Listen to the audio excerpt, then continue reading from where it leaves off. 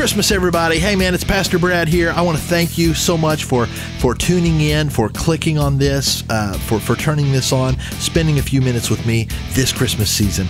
Welcome to this very special One Holy Night Christmas podcast. This podcast is going to feature the music of my album, One Holy Night. 10 songs that, that tell the Christmas story as recorded in the Gospels of the New Testament. Wherever you are, let me encourage you to get comfortable and settle in for what I hope will be an inspirational journey through the gospel accounts about the birth of our Lord and our Savior, Jesus, the Christ, the Son of the living God. We'll embark on this hard rock Christmas journey in just a moment, but first, let me encourage you, if you haven't already, to reach out and connect with me online. There are three basic places you can connect with me online. First is Facebook. I'd kind of consider this the, the lightest place to connect with me. Uh, I post several things on there a month. Uh, you'll, you'll get basic updates on my music projects. I don't post a lot of teaching on there. Um, but you can definitely private message me, and you'll you'll be able to you'll be kept up on like my projects when a new album comes out, those kind of things, and it's a great way to just kind of interact. But you can look for me on Facebook. Just look up Pastor Brad Rocks, and you'll find me. Number two, YouTube. This is an awesome place to connect with me. I'm super active on YouTube. I have three, sometimes four videos coming out every single week. Every Friday, I put out a new Pastor Brad style 80s metal related video. I put all of my music and all of my teaching up there. I love to teach the Word of God. So if you're hungry to get rocked up and, and, and study the Word of God, YouTube is the place to connect with me. And again, just put in the search bar Pastor Brad Rocks and you'll find my channel. And a third and really special way to connect with me is to just go to my home online, the place that I've called home uh, ever since 2003 when I first started the Pastor Brad Rocks ministry, guitarjams.net. The word guitar, the word jams.net. There's no spaces and there's no caps, right? Just guitarjams.net. There's all kinds of info about the ministry and my music on that website. But also, there's a place to sign up for the newsletter. And when you sign up for the newsletter, you're going to get all kinds of free gifts. You're going to get some tools that'll really help you with your devotional life. And you're going to get a ton of free Pastor Brad music.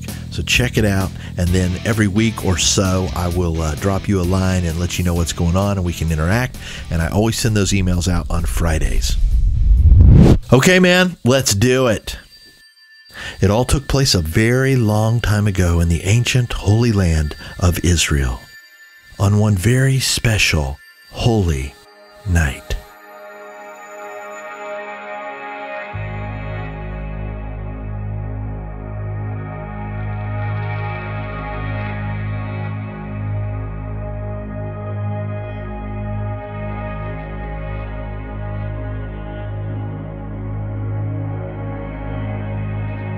Attitude should be the same as that of Christ Jesus, who, being in very nature God, did not consider equality with God something to be grasped or clung to or used for his own advantage.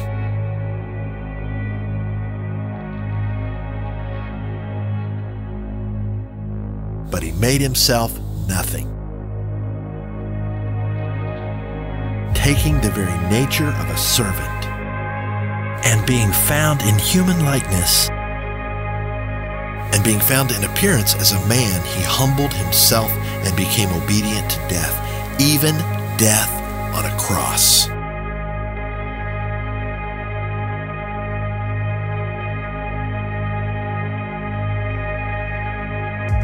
Therefore, God exalted him to the highest place and gave him the name that is above every name, that at the name of Jesus Christ every knee should bow, in heaven and on earth and under the earth.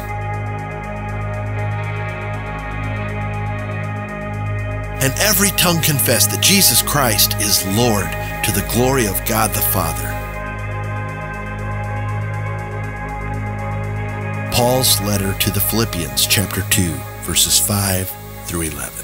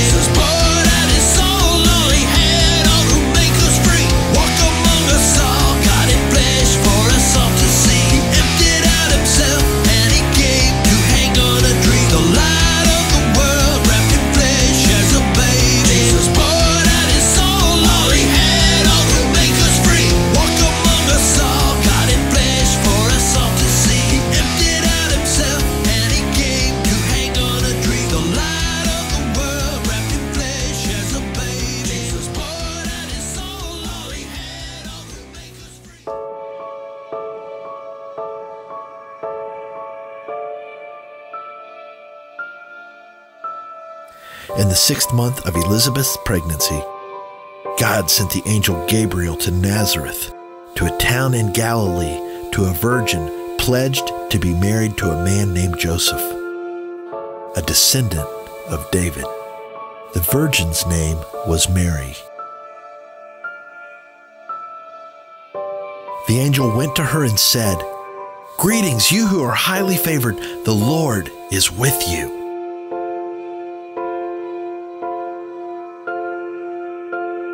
Mary was greatly troubled at his words, and she wondered what kind of greeting this might be. But the angel said to her, Do not be afraid. Mary, you have found favor with God. You will conceive and give birth to a son. And you are to call him Jesus.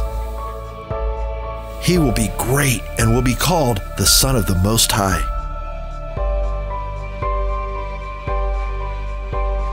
The Lord God will give him the throne of his father David, and he will reign over Jacob's descendants forever. His kingdom will never end. How will this be? Mary asked the angel, since I am a virgin. The angel answered, The Holy Spirit will come upon you, and the power of the Most High will overshadow you. So the Holy One to be born will be called the Son of God.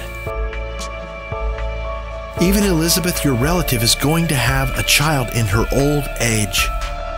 And she who was said to be unable to conceive is in her sixth month. For no word from God will ever fail.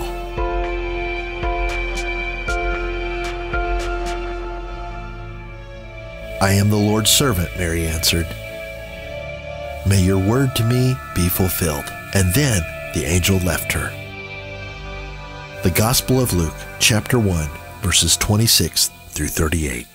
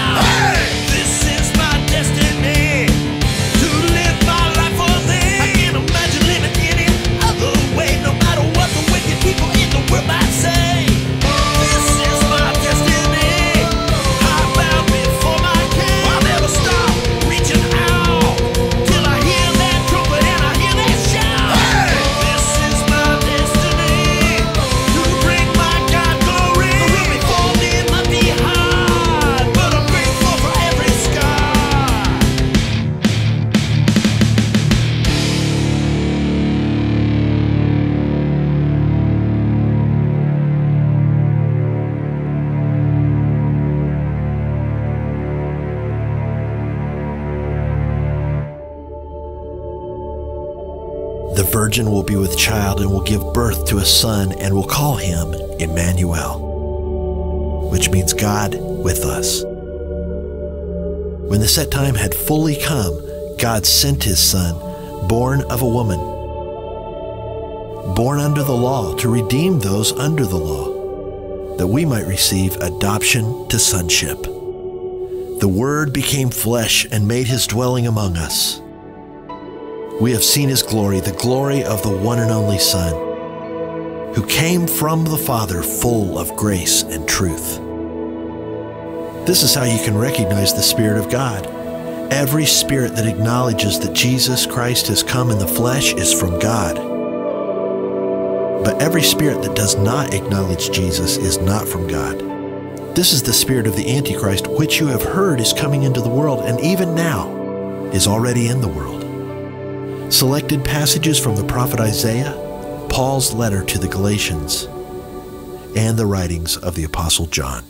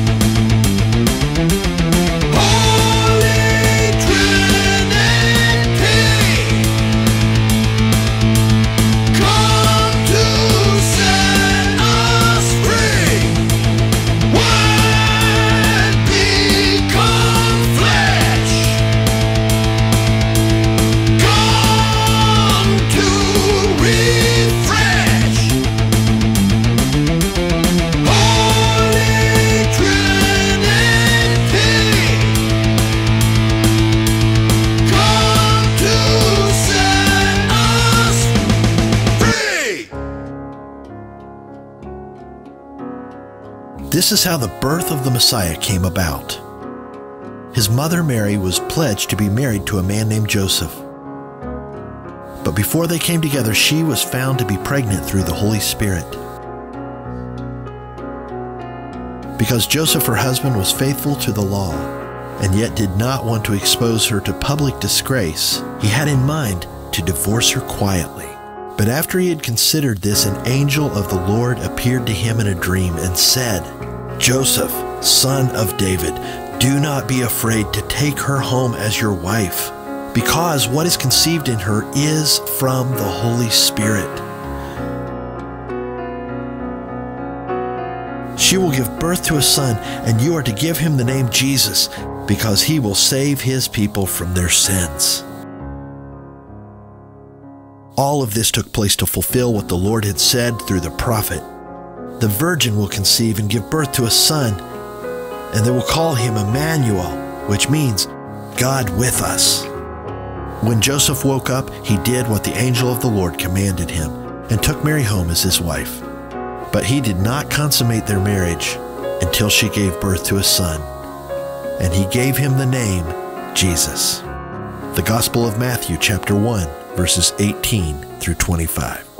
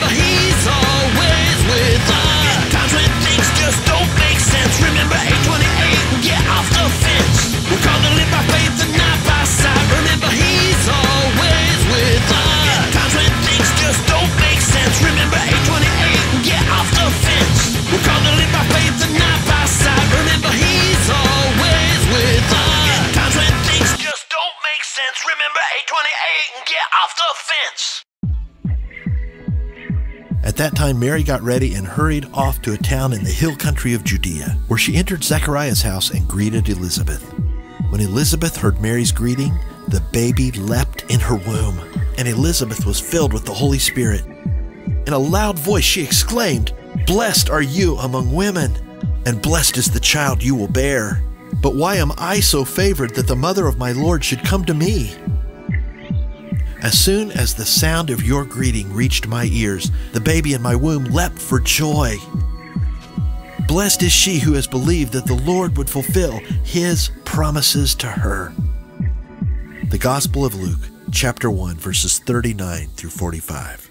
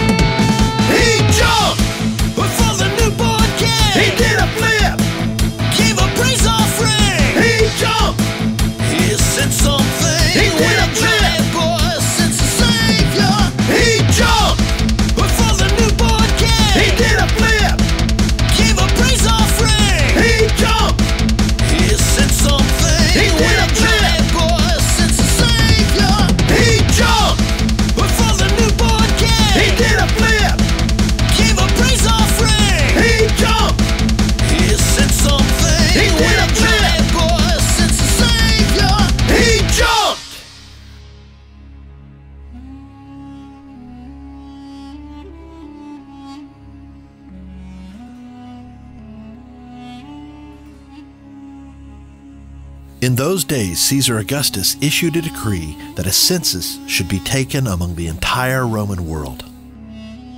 This was the first census taken while Quirinius was governor of Syria, and everyone went to his town to register. So Joseph also went up from Nazareth in Galilee to Judea to Bethlehem, the town of David, because he belonged to the house and line of David. He went there to register with Mary who was pledged to be married to him and was expecting a child. While they were there, the time came for the baby to be born. And she gave birth to her firstborn, a son. She wrapped him in cloths and she placed him in a manger because there was no room for them in the inn. The Gospel of Luke, chapter 2, verses 1 through 7.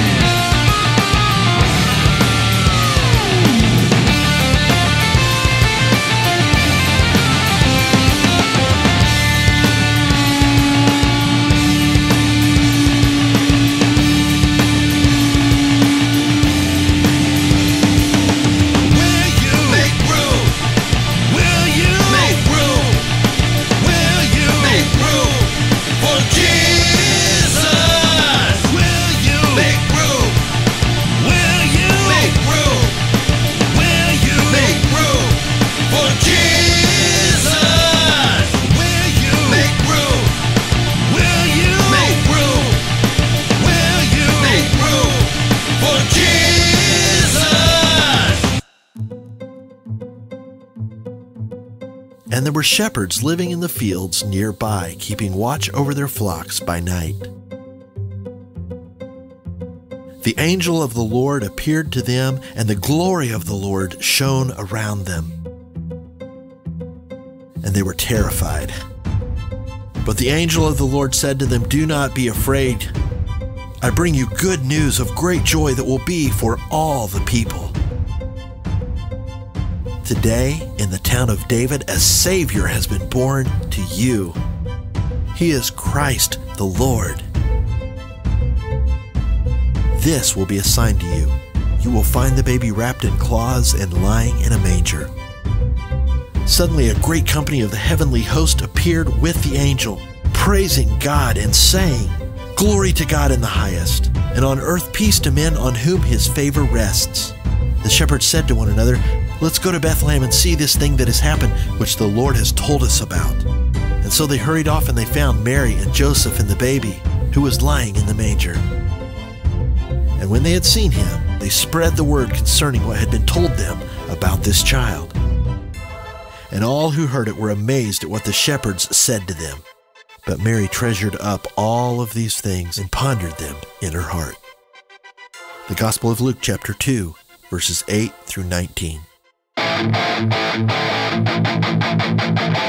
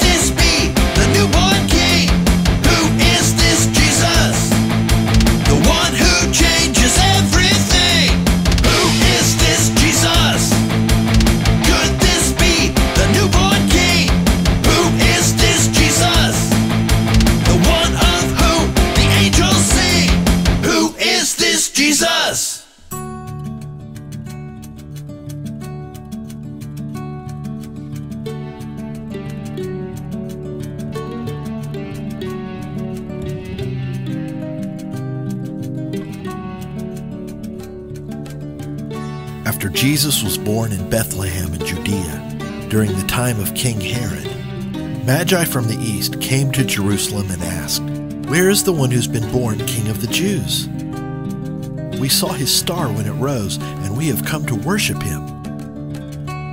When King Herod heard this, he was disturbed, and all Jerusalem with him. When he had called together all of the people's chief priests and teachers of the law, he asked them where the Messiah was to be born. In Bethlehem in Judea, they replied, for this is what the prophet has written. But you, Bethlehem, in the land of Judah, are by no means least among the rulers of Judah.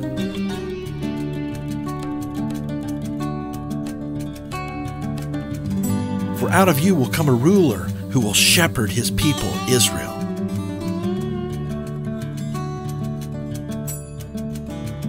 Then Herod called the Magi secretly, and he found out from them the exact time that the star had appeared. He sent them to Bethlehem and said, Go search carefully for the child. As soon as you find him, report to me so that I too may go and worship him.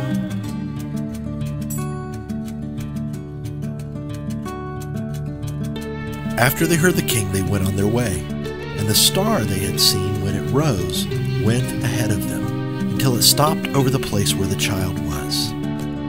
When they saw the star, they were overjoyed. On coming to the house, they saw the child with his mother Mary, and they bowed down and they worshipped him.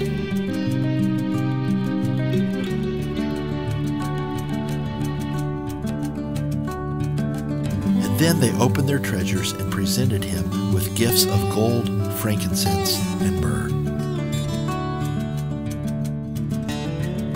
And having been warned in a dream not to go back to Herod, they returned to their country by another route.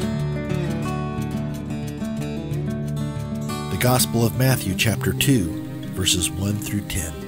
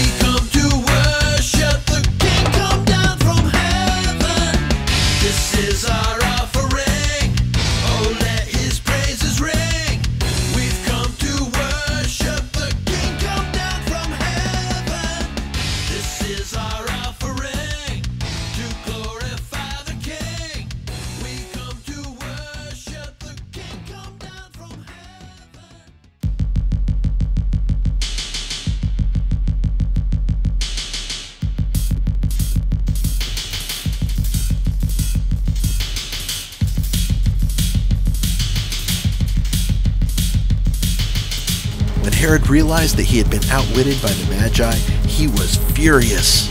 And he gave orders to kill all of the boys in Bethlehem and its vicinity who were two years old and under, in accordance with the time that he had learned from the Magi. Then what was said through the prophet Jeremiah was fulfilled.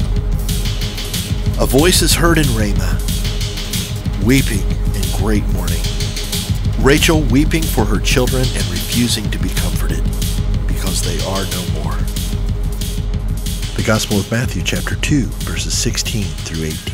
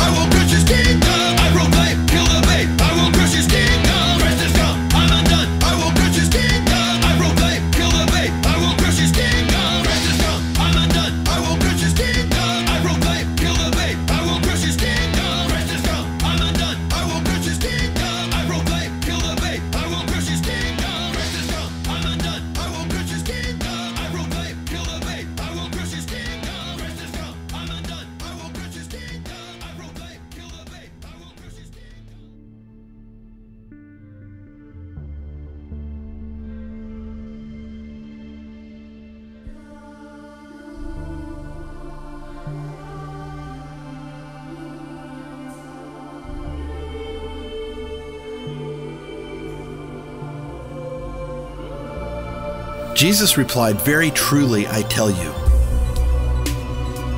No one can see the kingdom of God unless they're born again. For God so loved the world that he gave his one and only Son, that whoever believes in him shall not perish, but have eternal life. To all who received him, to those who believed in his name, he gave the right to become children of God. All of us who were baptized into Christ Jesus were baptized into his death. We were therefore buried with him through baptism into death in order that just as Christ was raised from the dead through the glory of the Father, we too may live a new life. Selected passages from the Gospel of John and the Apostle Paul's letter to the Romans.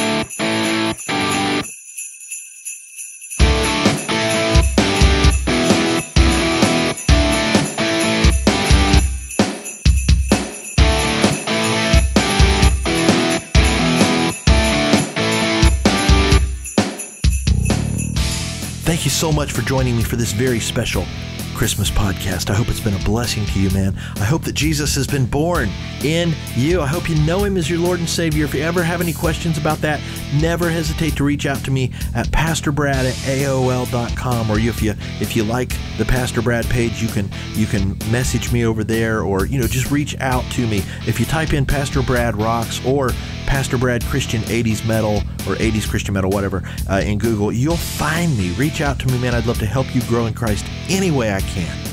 Merry Christmas. May God bless you. May He give you a wonderful new year. I hope you'll come back every Christmas and listen to this podcast again and again. May it be a blessing to you, man. Keep your eyes on Jesus. God bless. Bye bye.